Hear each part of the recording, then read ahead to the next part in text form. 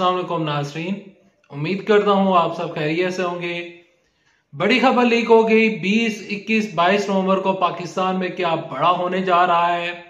नवाज़ शरीफ और इमरान खान साहब से रिलेटेड इंतहाई अहम तरीन खबरें सामने आई हैं। सुप्रीम कोर्ट और इस्लामाबाद हाई कोर्ट में जो इमरान खान साहब और नवाज़ शरीफ के केसेस चल रहे हैं उन केसेस की तफसीलात क्या हैं? इसके अलावा अगला आने वाला हफ़्ता पाकिस्तान की तारीख में सबसे बड़ा हफ़्ता क्यों कंसिडर किया जा रहा है? 20, 21, 22 नवंबर को पाकिस्तान में क्या होगा? ये खबरें आगे चलकर आप साथ वीडियो में शेयर करूँगा। लेकिन ये खबरें शेयर करने से पहले और खबरों की तफसलात शेयर करने से पहले आगे बढ़ने से पहले रिक्वेस्ट करूँगा कि इस वीडियो को लाइक कीजिएगा चैनल सब्सक्राइब कीजिएगा साथ लगे नोटिफिकेशन बेल दबाइएगा ताकि जो आने वाले वीडियोस हैं आप उनको मिस ना कर सकें। सबसे पहले आपके साथ शेयर करते हैं इमरान खान साहब से मुतलिक खबर। इमरान खान साहब साइफर केस के सिलसिले में अडयाला जेल में सजा काट रहे साइफर केस और तोशा खाना ये दो केसेस हैं जिसके सिलसिले में इमरान साहब को गिरफ़्तार किया गया। आज सौ से ज़्यादा दिन इमरान साहब जेल में हैं और इमरान खान साहब ने एक दरखास्त जमा करवाई थी इस्लामाबाद हाई कोर्ट के चीफ जस्टिस आमर फारूक के अदालत में। और उस दरखास्त में मौका इख्तियार किया गया था, मेरे ऊपर ये जो साइफर केस है, ये बेबुनियाद है। लिहाजा मुझे जमानत दी जाए और ये जो ट्रायल चल रहा है अडयाला जेल में, इस ट्रायल को रोका जाए। लेकिन इस्लामाबाद हाई कोर्ट के चीफ जस्टिस आमर फारूक ने इमरान साहब को रिलीफ नहीं दिया। ट्रायल इस्लामाबाद हाई कोर्ट ने रोकने का हुक्म जारी नहीं किया, लेकिन इमरान साहब ने फिर एक और दरखास्त जमा करवाई थी। तो उस दरखास्त के नतीजे में चीफ जस्टिस आमर फारूक, उस केस की उन्होंने, उस दरखास्त के ऊपर उन्होंने फैसला जारी नहीं किया था, लेकिन इस्लामाबाद हाई कोर्ट के दो जजेस जो थे, उन्होंने इमरान साहब का ट्रायल रोक दिया था अडयाला जेल में और कहा था कि 20 नवंबर तक इमरान साहब का ट्रायल नहीं होगा, अडयाला जेल में नहीं होगा ट्रायल कोर्ट में नहीं होगा। इमरान साहब ने जो इंट्रा कोर्ट अपील दायर की थी तो उसके ऊपर इमरान साहब को तीन चार दिनों तक का रिलीफ मिल गया था।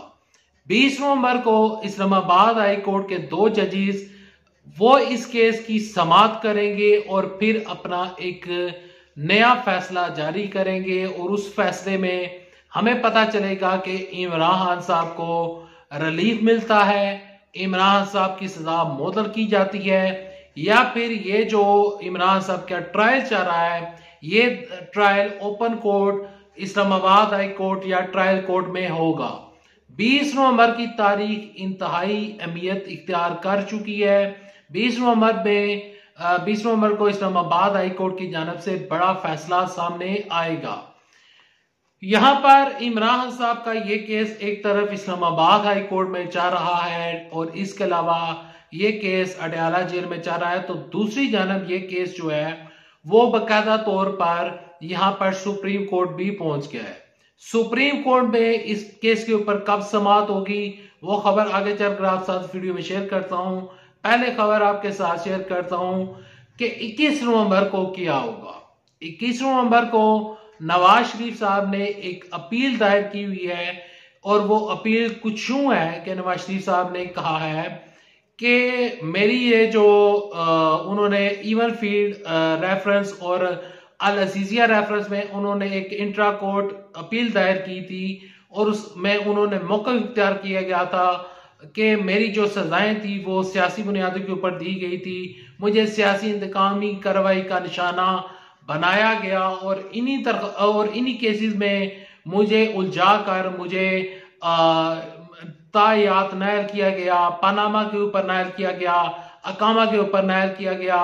यहाँ पर अल अजीजिया रेफरेंस और यहाँ पर नवाज़ शरीफ का जो दूसरा केस है इवन फ़ीड रेफरेंस अगर इसमें इमरान साहब सॉरी अगर इसमें नवाज़ शरीफ साहब की जो सजा है, वो इस्लामाबाद हाई कोर्ट में 21 नवंबर को अगर इस्लामाबाद हाई कोर्ट इसके ऊपर नवाज़ शरीफ की अपील को मंजूर कर लेती है तो नवाज़ शरीफ साहब की जो अगला आने वाला इलेक्शन है, जो कि 8 फरवरी को होगा, नवाज़ शरीफ साहब का इलेक्शन लड़ने की जो राह है, वो अमवार हो जाएगी और नवाज़ शरीफ साहब इलेक्शन लड़ सकेंगे। लेकिन साथ ही 22 नवंबर भी इंतहाई ज़रूरी है और 22 नवंबर को इमरान साहब ने एक दरखास्त जमा करवाई थी सुप्रीम कोर्ट में। Supreme court chief justice Qazi Faez की अदालत में एक दरखास्त, एक पटिशन दायर की गई थी। उस पटिशन के ऊपर चीफ जस्टिस काजी फाइजा साहब ने एक बेंच तश्कील दे दिया था।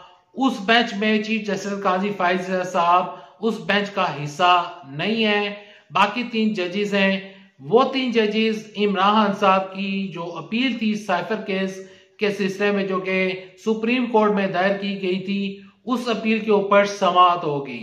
अगर दौरान समात यहाँ पर इस्लामाबाद सुप्रीम कोर्ट जो है, वो अगर फैसला दे देती है इमरान साहब के हक में तो इमरान खान साहब इलेक्शन इलेक्शन आने से पहले और इलेक्शन होने से पहले इमरान खान साहब को रिलीफ मिल सकता है और इमरान खान साहब की जो सजा है, जो उनकी नायली हुई थी पाँच साल की, जिसके ऊपर उन्होंने इस्लामाबाद हाई कोर्ट से रुजू किया था और कहा गया था कि मुझे रिलीफ दिया जाए ताकि मैं इलेक्शन लड़ सकूँ। साथ ही आज इस्लामाबाद हाई कोर्ट ने एक तहरीरी फैसला जारी किया है इमरान साहब के साइफर केस के ऊपर। चीफ जस्टिस आमर फारूक ने उस तहरीरी फैसले में लिखा है और कहा है कि इमरान साहब के ऊपर ये जो साइफर केस जा रहा है, इसमें जो दफात हैं। इसमें इमरान साहब को सजाए मौत या फिर उम्र कैद की सजा हो सकती है। यहाँ पर अगली खबरों की जानब पढ़ते हैं। अगली खबरें कुछ यूँ हैं कि ये जो 20-21 नवंबर है, इसमें हमें पता चलेगा कि कौन सी पार्टी इलेक्शन लड़ सकेगी, कौन सी पार्टी को इलेक्शन नहीं लड़ने दिया जाएगा, कौन सा लीडर बरी होगा और कौन सा लीडर जेल काटेगा। 20-21 नवंबर ये चीज़ें और ये आने वाले जो हफ़्ता है उसमें ये चीज़ें डिसाइड होंगी। लेकिन बाकी जमातें क्या कर रही हैं? ब्लाउ बुढ़ जरदारी क्या कर रहे हैं? मरियन वैसी साहबा क्या कर रही हैं? देखें ब्लाउ बुडजरदारी के पी के में आज उनके जो आ, सीनियर तरी रहनुमा थे वो आज उनका साथ छोड़ चुके हैं। और यहाँ पर ब्लाउ भुट्टो मुश्किल का शिकार हो रहे हैं। मरियन वैसी साहबा भी मुश्किल का शिकार हो रही हैं।